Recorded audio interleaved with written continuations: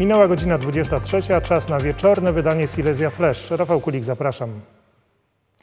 15 miliardów złotych na ochronę zdrowia to za mało, mówią zarządzający szpitalami powiatowymi w województwie śląskim. Ostrzegają, że zadłużenie nadal będzie rosło, a przekazane środki nie pokryją wzrostu wynagrodzeń i wzrostu kosztów związanych z inflacją.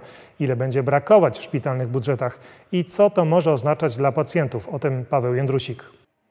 Od 300 tysięcy do nawet 800 tysięcy złotych miesięcznie. Tyle może brakować szpitalom powiatowym w województwie śląskim. Jak łatwo wyliczyć, w ciągu zaledwie roku może to spowodować milionowe zadłużenia. W moim przypadku na dzień dzisiejszy 6% na wynagrodzenia dla pracowników nie pokrywa kosztów, wzrostu kosztów funkcjonowania jednostki. To powinno być około 14-14,5%, czyli dalej brakuje około 500-550 tysięcy miesięcznie. To nie jest, proszę Państwa, aż tak dużo, żeby szpital żeby fundusz mógł to unieść, czy skarb państwa, a szpital mógł funkcjonować i bilansować się. Proszę Państwa, mówienie o złym zarządzaniu, mówieniu o tym, że trzeba cały czas restrukturyzować, 23 lata, proszę Państwa, powtarzana melodia, to już jest niesmaczne.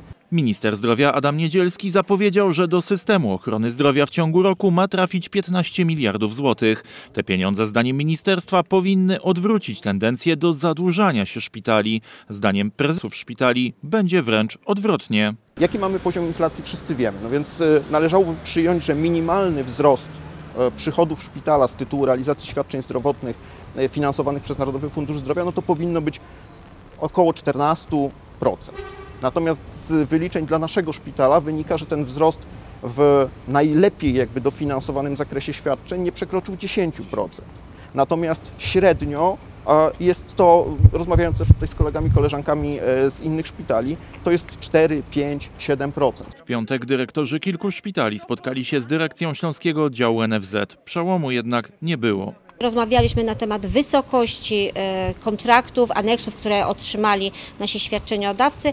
E, tłumaczyliśmy przepisy, które weszły w życie, jak również do, jesteśmy umówieni również na spotkania indywidualne z konkretnym dyrektorem. Już nie w całej grupie, tylko indywidualnie. Spośród 15 miliardów złotych, które zostaną przeznaczone na ochronę zdrowia do województwa śląskiego trafi miliard złotych. Zdewastowane nagrobki na cmentarzu żydowskim w Zabrzu zostaną naprawione. Ważne dla kultury żydowskiej, jak i miasta nagrobki zostały zniszczone na początku czerwca. Ich rewitalizacja będzie możliwa dzięki wsparciu Narodowego Instytutu Konserwacji Zabytków. Po podpisaniu porozumienia z Urzędem Miasta Zabrze Instytut przeznaczy pieniądze na ich naprawę. Karolina Komada. Tak wygląda cmentarz żydowski w Zabrzu po tym, jak przeszło miesiąc temu został zdewastowany. Na jego terenie zachowało się około 700 nagrobków. To monumentalne grobowce, jak i tradycyjne macewy. Uszkodzeniu uległo ich około 60.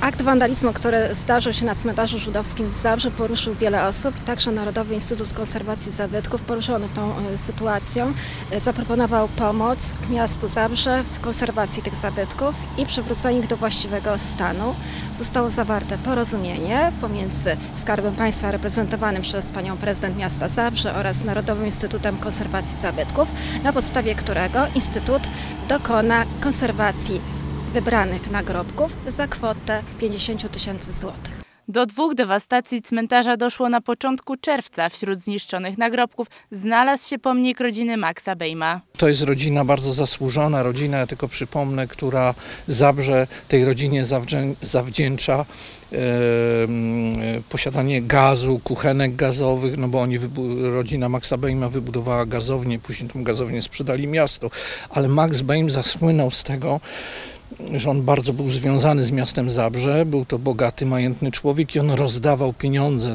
a raczej dawał bezzwrotne pożyczki. Można powiedzieć, że taką też pożyczkę otrzymał również cmentarz. Udało się pozyskać 50 tysięcy i to jest kwota, oczywiście mała kwota, choć dla nas społecznych opiekunów tego cmentarza bardzo, bardzo duża, ale to jest tylko na, na naprawę, czyli jakby przywrócenie tym nagrobkom tego stanu sprzed, sprzed dewastacji. Nie mówimy tu o, o sprawach konserwacji, więc to jest podniesienie, ponowne usadowienie, wyrównanie. Sprawcy, czyli dwóch mężczyzn, usłyszeli zarzuty dotyczące niszczenia zabytków. Grozi im kara pozbawienia wolności do 8 lat. Teraz w serwisie Silesia Flash słupkowy konflikt, który może przypominać ten z filmu Sami Swoi. Jednak mieszkańcom chorzowskiego siedla wcale nie jest do śmiechu. Część z nich postanowiła, stawiając słupki na osiedlowej drodze, zlikwidować tam ruch samochodów. Tyle, że jak szybko bariera się pojawiła, tak szybko wyparowała. Kto ją rozebrał, nie wiadomo. Proszę zobaczyć efekty naszego redakcyjnego śledztwa, które przeprowadził Łukasz Kądziołka.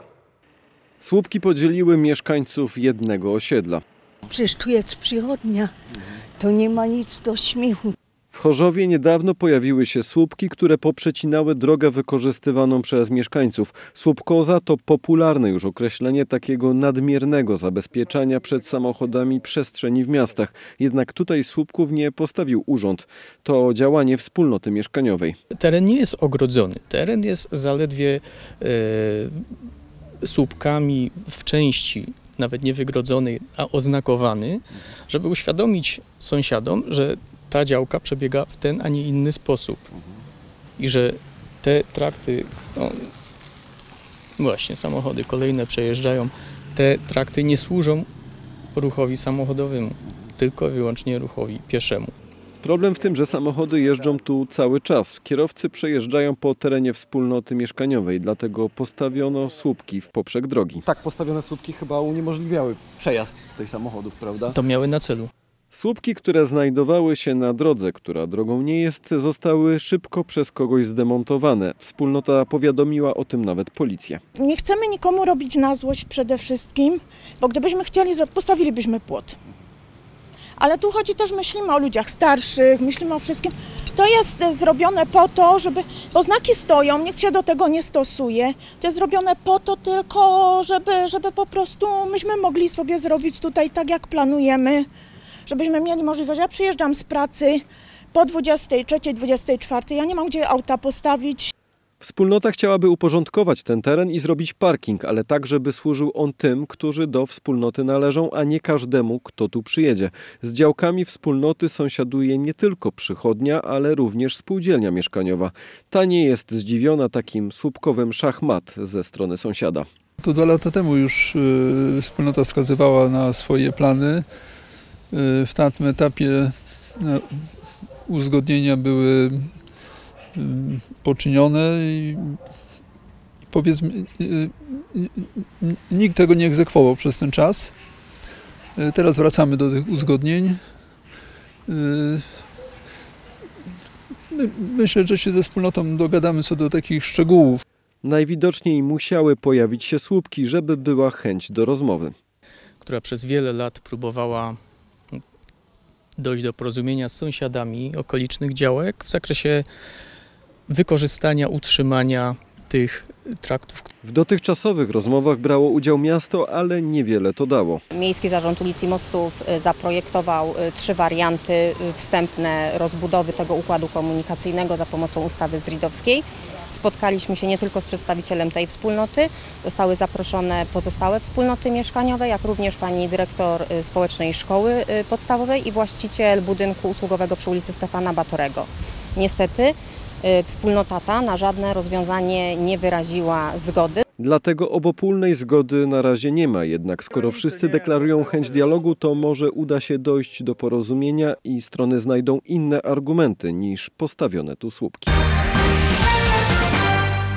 To wyjątkowa wersja book crossingu, bo wpisująca się w tytuł Europejskiego Miasta Nauki. Dwie biblioteki plenerowe stanęły w Katowicach. To małe, zadaszone miejsca ze stolikiem i regałami, na których znajdują się książki. Jedna z nich jest na katowickim rynku, druga przed rektoratem Uniwersytetu Śląskiego. Jak działają? O tym Paweł Jędrusik. Do tej biblioteki nie trzeba mieć karty bibliotecznej, nie zapłaci się też kary. Wejść można prosto z ulicy, bo przy niej się znajduje. Chodzi nie tylko o promocję czytelnictwa, ale samej nauki. To wszystko ma promować tytuł Europejskiego Miasta Nauki, które w Katowicach będziemy mocno promować, ale także nosić w przyszłym roku. Chcemy, by nauka była powszechna, by była dostępna na każdym kroku. To, co nam się na pierwszy rzut myślą kojarzy z nauką, to oczywiście oczywiście biblioteka, dlatego też wychodzimy z biblioteczkami plenerowymi. Biblioteka działa w taki sposób, że każdy może z niej skorzystać. Ona nie jest tutaj zamknięta na, student, na studentów czy na społeczność akademicką, tylko ona jest dostępna dla każdego mieszkańca, dla każdego, kto będzie obok przechodził.